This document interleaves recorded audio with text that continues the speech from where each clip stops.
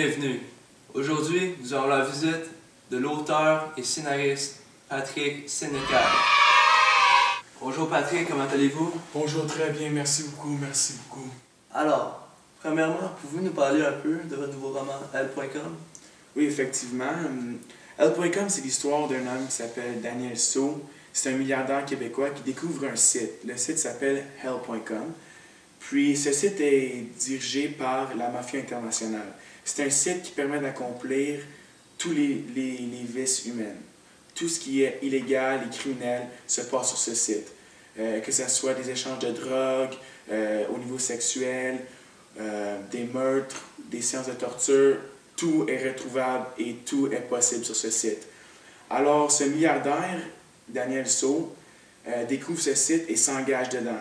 Il se rend compte qu'il devient trop engagé dans le site, puis qu'il veut faire marche arrière et sortir de, de, ce scénario. Puis, en lisant le livre, on découvre que c'est beaucoup plus difficile qu'on peut le croire. Pouvez-vous nous parler un peu plus euh, du personnage principal?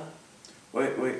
Um, depuis euh, qu'il a pris la tête d'une société immobilière de son père, euh, Daniel So est devenu un homme d'affaires très riche au Québec, même un des plus riches. Puis, il est dans la jeune quarantaine, il est beau, il est fonceur, intelligent et sans pitié pour la concurrence et les losers. Um, Daniel a tout pour lui et il se gêne pas pour prendre le reste. Patrick, vous êtes connu pour être une personne très drôle, aimable, calme. Mais pourquoi vos, vos romans évoquent beaucoup de violence?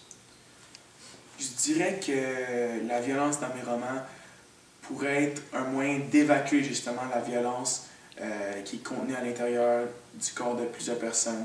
Euh, c'est à l'aide de la fiction qu'on retrouve dans mes romans qui aide à vider ces sentiments de violence et d'agression. Puis euh, à la fin d'une lecture, on se sent très, beaucoup plus calme, très relax. Comme dans votre roman L.com, beaucoup de vos romans sont basés sur l'horreur, la violence. Ils ont beaucoup un côté sombre.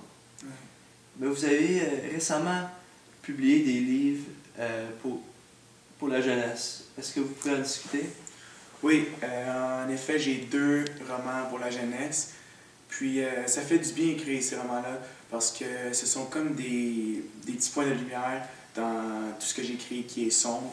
Euh, ça me permet de continuer euh, ensuite pour replonger dans tous mes romans sombres.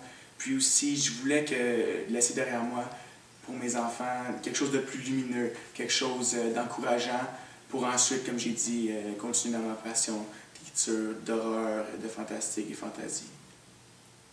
Ceci est tout pour notre entrevue avec Patrick Sénécal aujourd'hui. Merci beaucoup Patrick. Merci.